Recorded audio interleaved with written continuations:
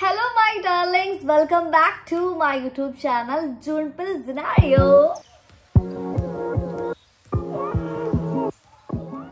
ഇന്നത്തെ വീഡിയോ എന്ന് പറയുന്നത് ഒരു ഇൻഫോർമാറ്റീവ് വീഡിയോ ആണ് സോ അതുകൊണ്ട് തന്നെ ഇതിലൊരു സ്പെഷ്യൽ കൈൻഡ് ഓഫ് ഓഡിയൻസ് ആയിരിക്കും എനിക്ക് ഭയങ്കര ഉറപ്പാണ് കേട്ടോ and please excuse to the background score because ഇവിടെ ഞാൻ താമസിക്കുന്ന ഫ്ലാറ്റിനോട് ചേർന്നിട്ട് തന്നെയാണ് ഈ റോഡ് സൈഡിനോട് ചേർന്നിട്ടാണ് ഈ ഫ്ലാറ്റ് സോ അതുകൊണ്ട് തന്നെ ഈ കാറ് പോകുന്ന സൗണ്ട് നമുക്ക് ഇങ്ങനെ ഇടയ്ക്കിടയ്ക്ക് ഇങ്ങനെ കേട്ടുകൊണ്ടിരിക്കും അപ്പോൾ അത് നിങ്ങൾ ഡിസ്റ്റർബ് ചെയ്യണമെങ്കിൽ I'm so sorry so നമ്മൾ ഇന്ന് പറയുന്ന ടോപ്പിക് എന്ന് പറഞ്ഞു കഴിഞ്ഞാൽ ഞാൻ എന്റെ യു ഐ എക്സ്പീരിയൻസും പിന്നെ യു ഐയിൽ ജോലി കിട്ടാനുള്ള കുറച്ച് ടിപ്സ് ആൻഡ് ട്രിക്സും ആയിരിക്കും ഞാൻ ഷെയർ ചെയ്യുന്നത്.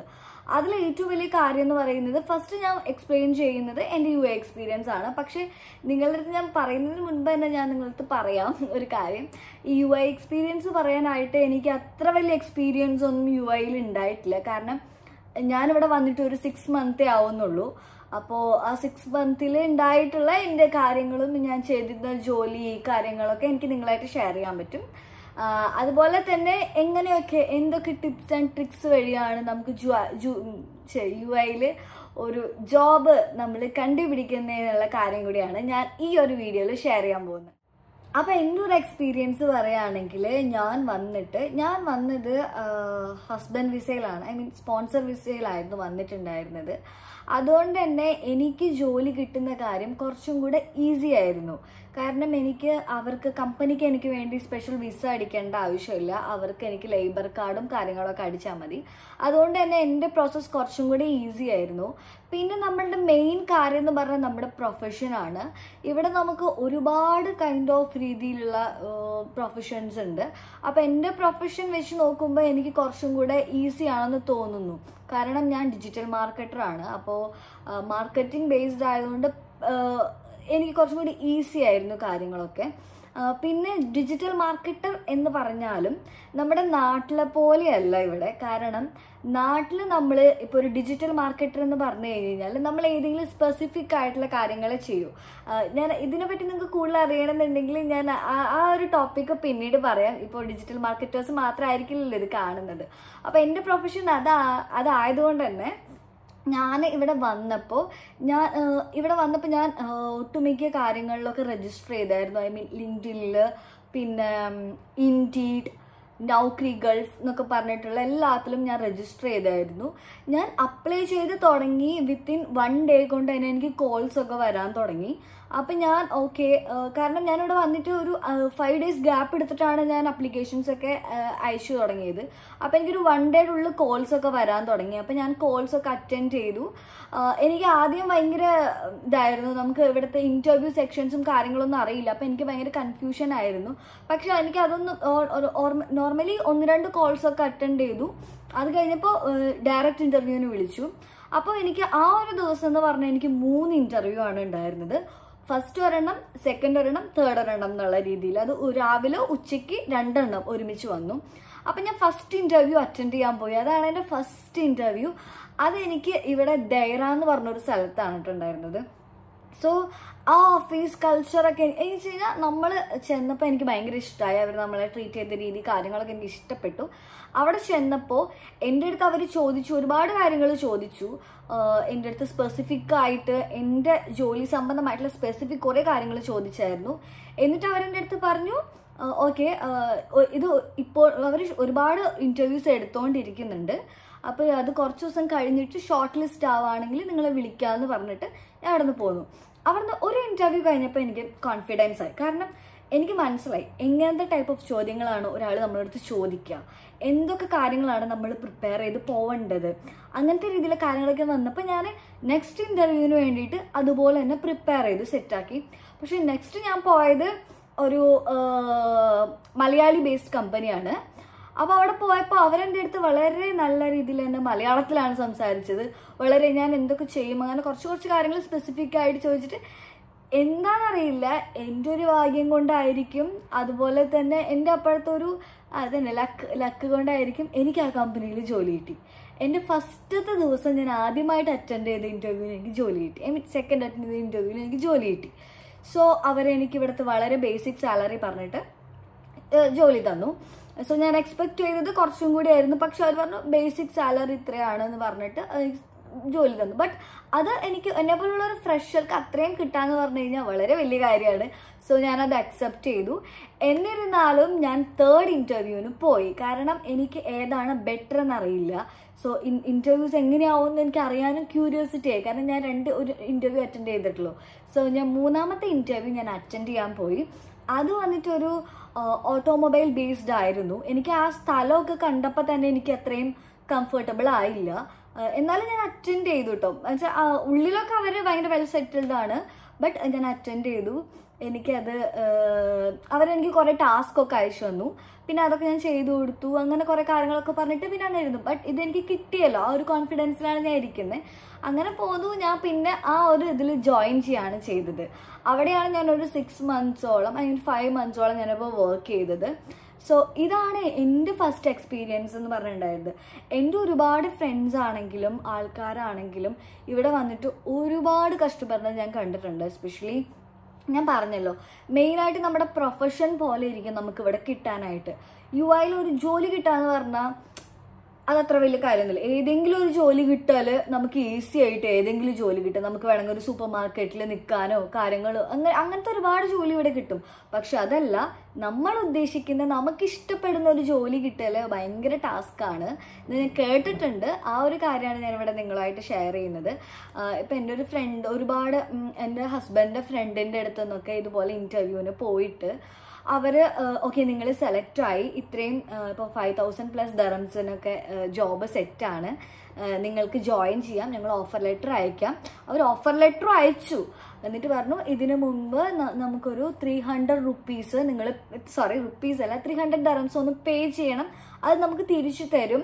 ജോയിൻ ചെയ്യണമെന്ന് തിരിച്ചു തരും. നിങ്ങളൊന്ന് പേ ചെയ്യണം എന്ന് പറഞ്ഞിട്ട്. നമ്മളപ്പോൾ ആ ഒരു സന്തോഷത്തിൽ ഓക്കെ നമുക്ക് ജോലി കിട്ടി നമുക്ക് ഫൈവ് തൗസൻഡ് ദറംസ് ജോലി കിട്ടി. ആ ഒരു ഇതിൽ നമ്മളാണെങ്കിൽ ആ ത്രീ ഹൺഡ്രഡ് ദറംസ് അറിയാതെ പേ ചെയ്തും ചെയ്തു. എന്നിട്ട് തിരിച്ചു വന്നതിന് ശേഷമാണ് പിന്നെ അവർ നമ്മളെ വിളിച്ചിട്ട് കോൾ എടുക്കുന്നില്ല. നമ്മൾ ഈ ഓഫർ ലെറ്റർ റീചെക്ക് ചെയ്തപ്പോൾ ഇത് അവരുടെ സ്ഥിരമാണ്. അവരുടെ ഗൂഗിൾ റിവ്യൂ വൺ ഫ്ലോപ്പാണ് ഫ്രോഡാണ് എന്നൊക്കെ നമുക്ക് മനസ്സിലായി. സോ അങ്ങനെയുള്ളതും ഇവിടെ നടക്കുന്നുണ്ട്. സോ അതിലൊന്നും നമ്മൾ പോയി പെടാതിരിക്കുക. നമ്മൾ കുറച്ച് സ്ട്രോങ് ആയിട്ട് നിൽക്കുക. നമുക്ക് ഒരാളുടെ അടുത്ത് ചെല്ലുമ്പോൾ നമ്മളൊരു ഇന്റർവ്യൂവിന് വിളിക്കുന്ന സമയത്ത് തന്നെ നമ്മളൊന്ന് അന്വേഷിക്കുക. അത് എങ്ങനത്തെ കമ്പനിയാണ് നമ്മളൊന്ന് അതിനെപ്പറ്റി റിസർച്ച് ചെയ്തിട്ട് വേണം നമ്മളൊരു ഇന്റർവ്യൂവിന് പോകാനായിട്ട്. അല്ലാതെ നമ്മൾ ഓടി ചേടി ചാ- ചാടി കയറി ചെന്ന് പോവരുത്. എന്തായാലും ആ കമ്പനീനെ പറ്റിയൊന്ന് പഠിച്ചിട്ട് വേണം നമ്മൾ പോകാനായിട്ട്. ഇനി ഞാൻ യു ഐയിൽ ജോലി കണ്ടുപിടിക്കുന്നതിനെ പറ്റിയിട്ടുള്ള കാര്യങ്ങളാണ് നിങ്ങളുടെ അടുത്ത് പറയാൻ പോണത്. സോ അതിന് മുമ്പ് ഞാൻ പറയാം ഞാൻ വലിയ എക്സ്പേർട്ടും ഒന്നുമില്ല ബട്ട് എനിക്ക് തോന്നിയിട്ടുള്ള കുറച്ച് കാര്യങ്ങൾ വെച്ചിട്ടാണ് ഞാൻ നിങ്ങളുടെ അടുത്ത് ഷെയർ ചെയ്യുന്നത്. ആദ്യം തന്നെ നമ്മളുടെ C V well super C V ആയിരിക്കണം. ലൈക്ക് ഭയങ്കര സ്റ്റാൻഡേർഡൈസേഷൻ ആയിട്ടുള്ള സി വി ആയിരിക്കണം. സി വി എന്ന് പറയുമ്പോൾ നമ്മൾ നമ്മളുടെ ഫാഷൻ ഫോട്ടോസ് ഒന്നും ഇടാൻ പാടില്ല. ഞാൻ അങ്ങനെ ഇട്ടിട്ട് എനിക്ക് പണി കിട്ടിയോണ്ട് പറയാണ്. നിങ്ങൾ അങ്ങനത്തെ ഫോട്ടോസ് ഒന്നും ഇടരുത്. എക്സിക്യൂട്ടീവ് ലുക്കിലുള്ള ഫോട്ടോസ് നിങ്ങളുടെ ഹോബീസും കാര്യങ്ങളൊന്നും അതിൽ ആഡ് ചെയ്യല്ല വേണ്ടത്. നേരെ മറിച്ച് നമ്മളുടെ നമ്മളുടെ കഴിവുകൾ നമുക്ക് എന്തൊക്കെ അച്ചീവ്മെന്റ്സ് കിട്ടിയിട്ടുണ്ട് നിങ്ങൾക്ക് വല്ല സർട്ടിഫിക്കേഷൻസ് ഒക്കെ നിങ്ങൾ എടുത്തിട്ടുണ്ടെങ്കിൽ അത് പിന്നെ നിങ്ങളുടെ എക്സ്പീരിയൻസ് ഇപ്പം നിങ്ങൾ നാട്ടിൽ നിങ്ങൾക്കൊരു ആറ് വർഷം എക്സ്പീരിയൻസ് ഉണ്ട് അഞ്ച് വർഷം എക്സ്പീരിയൻസ് ഉണ്ടെന്ന് പറഞ്ഞാലും ഇവിടുത്തെ എക്സ്പീരിയൻസ് ആണ് അവർക്ക് ഏറ്റവും വലുത്. അതുപോലെ തന്നെ അവർ ആദ്യം ചോദിക്കുക യു എക്സ്പീരിയൻസ് എത്രയുണ്ടെന്നാണ്? ഡെഫിനറ്റ്ലി പക്ഷെ നിങ്ങൾ നിങ്ങളുടെ എക്സ്പീരിയൻസ്ഡ് ആണെന്നുള്ള സാധനം പിന്നെ നിങ്ങൾ അവരെ കൺവിൻസ് ചെയ്യുന്ന പോലെ ഇരിക്കും. സോ സി വി നല്ല അടിപൊളി സി വി ആയിരിക്കണം. പിന്നെ ഇന്റർവ്യൂവിന് പോകുമ്പോൾ എപ്പോഴും വെൽ ഡ്രസ്ഡ് ആയിരിക്കണം. നമ്മൾ ഒരു ഓവർ കാര്യങ്ങളൊന്നും അല്ലാതെ വളരെ ജെന്റിൽ ലുക്കിലായിരിക്കണം പോകേണ്ടത്. ഭയങ്കര പ്രൊഫഷണൽ ലുക്ക് എപ്പോഴും കീപ്പ് ചെയ്തിട്ട് പോവുക. ഗേൾസ് ആണെങ്കിൽ സ്യൂട്ട്സും കാര്യങ്ങളുണ്ട്. അതുപോലെ തന്നെ ബോയ്സിനും സ്യൂട്ട്സ് ഉണ്ട്. ഇപ്പോൾ ഗേൾസിന് ഇപ്പോൾ സ്യൂട്ട്സ് ഇല്ലാത്തവർക്ക് അതിന്റേതായിട്ടുള്ള ടൈപ്പ് ഓഫ് രീതിയിലുള്ള കുറേ ഡ്രസ്സുകൾ ഇവിടെ ഉണ്ട്. അപ്പോൾ അതൊക്കെ നിങ്ങൾക്ക് ചൂസ് ചെയ്യാൻ പറ്റും. അതൊക്കെ അങ്ങനത്തെ ടൈപ്പ് ഓഫ് ഡ്രസ്സുകൾ നിങ്ങൾ യൂസ് ചെയ്യാൻ നോക്കുക. സോ ഒരു പ്രൊഫഷണൽ ലുക്ക് നിങ്ങളെ കാണുമ്പോൾ തന്നെ ലുക്കിലും ഒരു ഇമ്പോർട്ടന്റ് ആണെന്നുള്ളത് ഞാൻ ഇവിടെ വന്നപ്പോഴാണ് മനസ്സിലാക്കിയത്. നിങ്ങളുടെ വേ ഓഫ് ലുക്ക് നിങ്ങളുടെ വേ ഓഫ് ടോക്ക് അതിലും ഒക്കെ വളരെയധികം ഇമ്പോർട്ടന്റ് ആണ്. സോ അതൊക്കെ നിങ്ങൾ ഒരു ഇന്റർവ്യൂവിന് പോകുമ്പോൾ ശ്രദ്ധിക്കേണ്ട ഏറ്റവും വലിയ കാര്യമാണ്. സംസാരിക്കുമ്പോൾ അവർ നമ്മളുടെ അടുത്ത് അറിയോ എന്ന് ചോദിക്കുമ്പോൾ നമുക്കത് ഒട്ടും അറിയില്ലെങ്കിൽ പോലും അറിയില്ല എന്ന് നമ്മൾ പറയരുത്. എന്തെങ്കിലും ഒരു സാധനം നമുക്ക് അറിയില്ല എന്ന് പറയുമ്പോൾ അതൊരു ഡീഗ്രേഡ് ആയിട്ടാണ് നമുക്ക് ഇതാക്കാം. പക്ഷേ നമുക്ക് ഒട്ടും അറിയാത്ത കാര്യം പിന്നെ അറിയ ഒട്ടും അറിയില്ലെങ്കിൽ അങ്ങനെയല്ല. ചെറിയൊരു ഇതുണ്ടെങ്കിൽ പോലും നമ്മൾ നമുക്ക് അതിനെപ്പറ്റി അറിയാം. അല്ലെങ്കിൽ ഞാൻ അതിനെപ്പറ്റി പഠിക്കാം. ഇപ്പോൾ ഇത് ഈ ജോബിന് അത് നെസസറി ആണെങ്കിൽ അത് പഠിച്ചെടുക്കാൻ എനിക്ക് ഇൻട്രസ്റ്റഡ് ആണ് ഞാൻ. അത് പഠിച്ചെടുക്കാൻ പറ്റും. അങ്ങനത്തെ കാര്യങ്ങൾ പറയുമ്പോൾ കുറച്ചും കൂടി അവരെ ഇമ്പ്രസ് ചെയ്യിക്കാൻ നമുക്കൊക്കെ എളുപ്പമായിരിക്കും പിന്നെ ഞാൻ പറഞ്ഞ പോലെ ഇവിടെ ഒരുപാട് ടൈപ്പ് ഓഫ് ആയിട്ടുള്ള കാറ്റഗറിയിലുള്ള ആൾക്കാരുണ്ട്. Accounts department H R department ഇതുപോലെ തന്നെ പോലെ social media digital marketers designers engineers അങ്ങനെ ഒരുപാട് ഒരുപാട് മേഖലകളുണ്ട്. അപ്പോൾ നിങ്ങളുടെ മേഖലകളായിട്ടുള്ള ആൾക്കാരുമായിട്ട് ലിങ്ക്ഡിനിൽ കണക്ട് ചെയ്യാൻ നോക്കുക. കാരണം ലിങ്ക്ഡിൻ എന്ന് പറഞ്ഞ പ്ലാറ്റ്ഫോം വളരെ യൂസ്ഫുൾ ആയിട്ടുള്ള ഒരു പ്ലാറ്റ്ഫോമാണ് സോ അത് നിങ്ങൾ വേണ്ട വിധത്തിൽ മെയിന്റെയിൻ ചെയ്യുക. ഇവിടെ പലരും ജോബിന് നമ്മൾ അപ്ലൈ ചെയ്യുന്ന സമയത്ത് നമ്മളുടെ അടുത്ത് ചോദിക്കേണ്ട കുറച്ച് കാര്യങ്ങളുണ്ട്. ഇവൻ നമ്മളുടെ പേഴ്സണൽ ഇൻസ്റ്റഗ്രാം ഐ ഡി വരെ ഞങ്ങളുടെ ഫീൽഡിൽ ചോദിക്കാറുണ്ട്. Even Instagram I D YouTube channel അതുപോലെ തന്നെ ലിങ്ക്ഡിൻ അതൊക്കെ ഭയങ്കര ഇമ്പോർട്ടന്റ് ആണ്. അതുപോലെ ലിങ്ക്ഡിൻ എന്ന് പറഞ്ഞ സാധനം നിങ്ങൾ എപ്പോഴും മെയിന്റെയിൻ ചെയ്യുക. നല്ല രീതിയിൽ തന്നെ മെയിന്റെയിൻ ചെയ്യുക. ലിങ്ക്ഡിൻ പ്രൊഫൈൽ എങ്ങനെയാണ് മെയിന്റെയിൻ ചെയ്യേണ്ടത്? ലിങ്ക്ഡിന്റെ ടിപ്സും കാര്യങ്ങളൊക്കെ അറിയണമെങ്കിൽ ഞാൻ അതൊരു വേറെ വീഡിയോ സെപ്പറേറ്റ് ചെയ്യാം. കാരണം എനിക്കത് ഞാനത് പയറ്റി നോക്കിയിട്ട് തെളിഞ്ഞ സാധനമാണ്. അതുകൊണ്ട് എനിക്കത് ഭയങ്കര ഇഷ്ടമാണ് നിങ്ങളടുത്ത് ഷെയർ ചെയ്യാനായിട്ട്. സോ അങ്ങനെ വേണമെങ്കിൽ ഞാൻ അതും ചെയ്യാം. സോ ലിങ്ക്ഡിൻ പ്രൊഫൈൽ എപ്പോഴും നല്ല സ്റ്റാൻഡേർഡ് ആയിട്ട് കീപ്പ് ചെയ്യുക ഈവൻ ഏത് പ്രൊഫഷനും ആയിക്കോട്ടെ ഇപ്പം ഡിസൈനേഴ്സൊക്കെ ചോദിക്കും ഞങ്ങളുടെ ബിഹാൻഡ്സ് ഒക്കെ മാത്രം ചെയ്താൽ മതിയില്ലേ എന്ന് ബട്ട് പോരാ ഇപ്പം എൻജിനീയേഴ്സ് ആണെങ്കിലും അങ്ങനെയല്ല നമ്മൾ ലിങ്ക്ഡിൻ പ്രൊഫൈലും എപ്പോഴും കീപ്പ് ചെയ്യണം അത് അപ്ഡേറ്റഡ് ആയിരിക്കണം. ഈവൻ അതിൽ നമ്മൾ എപ്പോഴും കമ്മ്യൂണിക്കേറ്റ് ചെയ്തുകൊണ്ടിരിക്കുക നമ്മളുടെ ഓഡിയൻസായിട്ട് കമ്മ്യൂണിക്കേറ്റ് ചെയ്തുകൊണ്ടിരിക്കുക. അതുപോലെ ഇങ്ങനെ റിക്രൂട്ട്മെന്റ് നടത്തുന്ന ആൾക്കാരെ നമ്മൾ സ്പെഷ്യലൈസ് ചെയ്ത് ടാർഗറ്റ് ചെയ്ത് പിടിച്ച് അതിൽ നമുക്ക് അവരുടെ മെയിൽ കണ്ടുപിടിച്ച് ആ മെയിലിലോട്ട് നേരിട്ടിട്ട് നമുക്ക് ആപ്ലിക്കേഷൻസ് അയക്കാൻ പറ്റും. ഫോർ എക്സാമ്പിൾ ഇപ്പം നമുക്ക് മെയിനായിട്ട് നമ്മൾ ജോബിന് അപ്ലൈ ചെയ്യുന്ന ആപ്ലിക്കേഷൻസ് ആണ് LinkedIn Indeed Naukri Gulf Gulf എന്ന് തുടങ്ങിയിട്ടുള്ള കാര്യങ്ങൾ സോ ഇതിൽ ഓരോന്നിനും ഓരോ സ്പെസിഫിക്കേഷൻസ് ആണ്. ഇൻഡീഡ് എന്ന് പറയുമ്പോൾ നമ്മൾ അതിൽ തന്നെ ഒരു പ്രൊഫൈൽ തുടങ്ങിയിട്ട് അയച്ചുകൊണ്ടിരിക്കുക. ഇപ്പോൾ പലരും എന്നോട് പറയണത് ഞാൻ കേട്ടിട്ടുണ്ട്. ലൈക്ക് ഇപ്പം ഞാൻ അതിൽ അയച്ചു ഇനി ആപ്ലിക്കേഷൻസ് ഇല്ല. ഇനി വേറെയാണ് വീണ്ടും കണ്ട തന്നെയാണ് വരേണ്ടതെന്ന് പറയാം. അപ്പം നമ്മൾ ഞാനൊക്കെ രണ്ട് ഇമെയിൽ ഐ ഡി ക്രിയേറ്റ് ചെയ്യുക. ഒരെണ്ണം മാത്രമല്ല രണ്ട് ഇമെയിൽ ഐ ഡി ക്രിയേറ്റ് ചെയ്യുക. നിങ്ങൾക്ക് തന്നെ സെപ്പറേറ്റ് മാനേജ് ചെയ്യാനായിട്ട്. അത് രണ്ടിലും അയക്കുക. നമുക്ക് അറിയില്ല നമുക്ക് ഏതിലാണ് കിട്ടാന്ന്. നമ്മുടെ ലക്ഷ്യം ജോബ് കിട്ടണതാണ്. സോ അതുകൊണ്ട് തന്നെ നിങ്ങൾ രണ്ടിലും മാറി മാറി അയച്ചുകൊണ്ടിരിക്കുക. ഇപ്പം അപ്പം നിങ്ങളുടെ സി വി അവിടെ കണ്ട് കണ്ടിരിക്കുമ്പോൾ അവർക്ക് പെട്ടെന്ന് ക്യാച്ച് ചെയ്യാനും എളുപ്പമായിരിക്കും. അതുപോലെ തന്നെ സി വി അയക്കേണ്ട സമയം ഭയങ്കര ഇമ്പോർട്ടന്റ് ആണ്. നമ്മൾ രാത്രി ഏഴ് മണിക്ക് ശേഷം എട്ട് മണിക്ക് ശേഷം പത്ത് മണിക്ക് ശേഷം സി വി അയച്ചുകൊണ്ട് അവർ കാണേയില്ല നമ്മളെപ്പോഴും ഇപ്പോൾ ഒരു ഓഫീസിൽ ഒരാൾ ഇപ്പോൾ ഒരു എച്ച് ആർ മാനേജർ വന്നിട്ട് ഫ്രഷ് ആയിട്ട് വന്നിട്ട് അവരുടെ സിസ്റ്റം നോക്കുമ്പോൾ ചിലപ്പോൾ അവരുടെ ജോലി തിരക്കുകൊണ്ടായിരിക്കും അവർ ഫസ്റ്റ് കാണുന്ന സി വിസ് ആയിരിക്കും റിവ്യൂ ചെയ്യുന്നത് സോ അതുകൊണ്ട് തന്നെ നിങ്ങൾ ഒരു രാവിലെ തന്നെ നേർത്ത് എഴുന്നേറ്റ് ഒരു എട്ട് മണി ടു പത്ത് മണിയുടെ മാക്സിമം സി വിസ് അയക്കാൻ നോക്കുക. കാരണം നമ്മളുടെ പോപ്പപ്പ് ചെയ്ത് ഫസ്റ്റ് വരണമെങ്കിൽ നമ്മൾ ഈ ഒരു മോർണിംഗ് ടൈമിൽ അയക്കണം. അപ്പം മാത്രമാണ് അത് ഫസ്റ്റ് വരുള്ളൂ. അപ്പം മാത്രമാണ് നമ്മൾക്ക് കുറച്ചും കൂടെ എളുപ്പമായിരിക്കുള്ളൂ ഇതെനിക്ക് തോന്നുന്നു ഒരുവിധം എല്ലാവർക്കും അറിയാവുന്ന കാര്യമാണ്. എന്നാലും ഞാൻ ജസ്റ്റ് നിങ്ങളുടെ അടുത്ത് പറഞ്ഞു എന്ന് മാത്രം അറിയാത്തവരുണ്ടായിരിക്കുമല്ലോ. അപ്പം അതുകൊണ്ട് ഞാൻ പറഞ്ഞു എന്ന് മാത്രം. പിന്നെ നിങ്ങൾ ഒരിക്കലും ചെയ്യാൻ പാടില്ലാത്ത ഒരു കാര്യം എന്ന് പറഞ്ഞു കഴിഞ്ഞാൽ നമ്മൾ ഇങ്ങനെ കണ്ടിട്ടുണ്ട് ഓരോ ഓഫീസിൽ കയറി ഇറങ്ങിയിട്ട് നമ്മളുടെ സി വി കൊടുക്കുന്ന കാര്യം. അത് വളരെ മോശമാണ്. അതൊരു പ്രൊഫഷണൽ ആയിട്ടുള്ള കാര്യമല്ല. ഇപ്പോൾ ജോലിക്ക് വേണ്ടി എത്ര കഷ്ടപ്പെടാണെങ്കിലും നിങ്ങളൊരു പ്രൊഫഷണൽ ജോലി ചെയ്യണമെന്ന് ആഗ്രഹിക്കുന്ന ഒരാളാണെങ്കിൽ ഒരിക്കലും അങ്ങനെ ചെയ്യരുത്. കാരണം അതൊരു നമ്മളുടെ ഒരു ഇമേജിനെ ഒരു ബാക്കിലോട്ടാക്കുന്ന രീതിയിലുള്ളൊരു പ്രവൃത്തിയാണത് അതൊരിക്കലും ചെയ്യാതിരിക്കുക. കാരണം നമ്മളിപ്പോൾ ഒരു സ്ഥലത്ത് ചെല്ലുമ്പോൾ നമുക്ക് എന്തെങ്കിലും ജോലി മതി എന്ന് പറഞ്ഞ് ചെല്ലുന്ന അല്ലല്ലോ. നമ്മളൊരു പ്രൊഫഷണൽ ആണെന്നുണ്ടെങ്കിൽ അതിന്റെതായിട്ടുള്ള രീതിയുണ്ട്. നമ്മൾ ഇപ്പോൾ നമുക്കിപ്പോൾ ഇപ്പോൾ ഒരു എഞ്ചിനീയർ ആണെങ്കിൽ അവർ ടാർഗറ്റ് ചെയ്യുന്ന കമ്പനീസ് ഇതുപോലെ ബിൽഡേഴ്സ് ആയിരിക്കും കൺസ്ട്രക്ഷൻ ചെയ്യുന്ന കമ്പനീസ് ആയിരിക്കും. അപ്പോൾ യു ഐയിലെ കൺസ്ട്രക്ഷൻ കമ്പനിയുടെ ലിസ്റ്റ് എടുക്കുക. അതിൽ നമ്മൾ അവരുടെ മൊബൈൽ നമ്പറും ലാൻഡ് ലൈനും ഒക്കെ ഉണ്ടായിരിക്കും. അപ്പോൾ നമ്മൾ ലാൻഡ് ലൈനിലോട്ട് വിളിക്കുക. എന്നിട്ട് പറയുക ഇങ്ങനെ ജോബ് റിക്രൂട്ട്മെന്റ് ഉണ്ടോ? എനിക്ക് ഇത്രയും എക്സ്പീരിയൻസ് ഉണ്ട്. എനിക്ക് നിങ്ങൾ കമ്പനിയിൽ വർക്ക് ചെയ്യാൻ താല്പര്യമുണ്ട്. സോ ഞാൻ എനിക്ക് കൺസേൺ പേഴ്സണിന്റെ നമ്പറോ ഇമെയിൽ ഐ ഡിയോ എന്തെങ്കിലും തരുമെന്ന് ചോദിക്കാം. സോ അവർ ഒരിക്കലും കൺസേൺ പേഴ്സണിന്റെ മൊബൈൽ നമ്പർ നിങ്ങൾക്ക് തരാൻ പോകുന്നില്ല ബട്ട് നിങ്ങൾക്ക് സി വി കിട്ടും. സോറി നിങ്ങൾക്ക് ഇമെയിൽ ഐ ഡി കിട്ടും. സോ ആ ഒരു ഇമെയിൽ ഐ ഡി വെച്ചിട്ട് നിങ്ങൾ അപ്ലൈ ചെയ്യുക. നിങ്ങൾ എപ്പോഴും അപ്ലൈ ചെയ്തുകൊണ്ടിരിക്കുക. അതുപോലെ നമ്മൾ ഇമെയിലിൽ ശ്രദ്ധിക്കേണ്ട ഒരുപാട് കാര്യങ്ങളുണ്ട്. അതൊക്കെ നിങ്ങൾ ശ്രദ്ധിച്ചിട്ട് വേണം ചെയ്യാനായിട്ട്. നമ്മൾ ഒരിക്കലും നമ്മുടെ സി വി വെറുതെ അയക്കരുത്. നമ്മളൊരു നല്ല അടിപൊളി കവർ ലെറ്ററോട് കൂടിയിട്ട് വേണം സി വി അയക്കാനായിട്ട്. സോ എന്താണെന്ന് വെച്ച് കഴിഞ്ഞാൽ നമ്മുടെ സി വി ചിലപ്പോൾ വായിച്ചു നോക്കാൻ അവർക്ക് സമയം ഉണ്ടായിരിക്കില്ല. നമ്മുടെ സബ്ജക്റ്റും നമ്മുടെ ജസ്റ്റ് കവർ ലെറ്ററും നോക്കിയിട്ടായിരിക്കും ഓക്കെ ഈ സി വി റിവ്യൂ ചെയ്യണോ വേണ്ടേന്ന് വരെ അവർ തീരുമാനിക്കുക സോ അപ്പോഴും നല്ലൊരു അടിപൊളി കവർ ലെറ്റർ സെറ്റ് ചെയ്യുക. ലൈക്ക് നിങ്ങളുടെ എക്സ്പീരിയൻസോ നിങ്ങളുടെ കഴിവുകൾ നിങ്ങളെ പറ്റി അങ്ങോട്ട് ബൂസ്റ്റപ്പ് ചെയ്തിട്ട് നിങ്ങളെ ഭയങ്കര സംഭവമാണെന്ന് കാണിച്ചിട്ടുള്ള ഒരു അടിപൊളി കവർ ലെറ്റർ വെച്ചിട്ട് വളരെ പൊളൈറ്റ് ആയിട്ട് അതുപോലെ തന്നെ സ്മാർട്ട് ആയിട്ടുള്ളൊരു കളർ കവർ ലെറ്റർ സെറ്റ് ചെയ്തിട്ട് അയക്കുക ഇപ്പോൾ കവർ ലെറ്റർ ഒക്കെ സ്വന്തമായിട്ട് ചെയ്യാൻ പറ്റിയില്ലെങ്കിൽ നമ്മളുടെ ഇവിടെ കുറേ സാധനങ്ങളുണ്ട്. ചാറ്റ് ജി പി ടി പോലത്തെ കുറേ സാധനങ്ങൾ വന്നിട്ടുണ്ട്. അപ്പോൾ അതിലൊക്കെ ടപ്പ് ടപ്പെന്ന് അടിച്ചു കൊടുത്താൽ പൊളി പൊളി സാധനങ്ങൾ കിട്ടും. സോ അതിൽ നിങ്ങളൊന്ന് റീവർക്ക് ചെയ്തിട്ട് അപ്ഡേറ്റ് ചെയ്ത് കൊടുക്കുക അത് അടിപൊളി അതുപോലെ തന്നെ നെക്സ്റ്റ് ഇമ്പോർട്ടന്റ് ആയിട്ടുള്ള കാര്യം എന്ന് പറയുന്നത് നമ്മളുടെ സെൽഫ് അവർ ഇൻട്രൊഡ്യൂസ് ചെയ്യാൻ പറയും. അപ്പം നമ്മുടെ നാട്ടിലെ പോലെ I have five members in my family like അങ്ങനത്തെ കാര്യങ്ങളൊന്നും പറയരുത്. നമ്മൾ പറയേണ്ടത് വളരെ വളരെ നല്ല രീതിയിൽ നിങ്ങളുടെ നിങ്ങളെ നിങ്ങൾ വരുന്ന സ്ഥലം നിങ്ങളുടെ എക്സ്പീരിയൻസ് നിങ്ങൾ എന്താണ് പഠിച്ചത്? നിങ്ങൾക്ക് എത്ര വർഷം എക്സ്പീരിയൻസ് ഉണ്ട്? നിങ്ങളുടെ സ്കിൽ ഏതിലൊക്കെയാണ്? ഇതിൽ ഇന്ന കാര്യത്തിൽ എങ്ങനെയാണ് സ്കിൽ വരുന്നത്?